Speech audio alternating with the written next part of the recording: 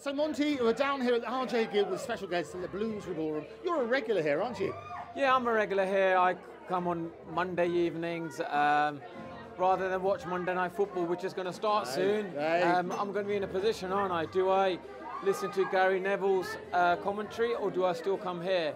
And uh, the answer is are we still coming here. And, and you're a big Bee Gees fan as well? Yeah, I'm a big Bee Gees fan and uh, just wonderful to see, um, you know, the, the actual uh, keyboard uh, Blue Weaver. Blue Weaver who, who, came with the nickname Saturday Night Weaver. Isn't that brilliant? Yes, so it was, it was unbelievable to see him perform live.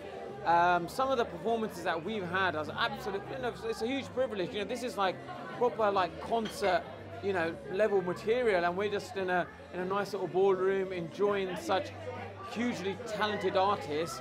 So it's, a, it's been a, it's been a fantastic experience. And, and, what's great is that it's going on for the generations. So it's not just the music of the Bee Gees, but also the music of Robin Gibb and his son RJ. What did you think of some of the new songs that he put in there? I think it's been brilliant. I think it's been fantastic how we're recapturing the 60s and the 70s theme, you know, especially with, um, you know, that sort of generation gap. This is like, you kind of like feel um, the sort of the hippie mode is back and it's brilliant. It's fantastic. really brilliant. Were you a hippie? Well, I was born in 1982, so right. it's really nice that I'm able to connect to music that I wasn't born in, and, and I'm loving it. Yeah, brilliant. Monty, it's always a pleasure to see you. We'll see you at the next one. Thank you. Take care.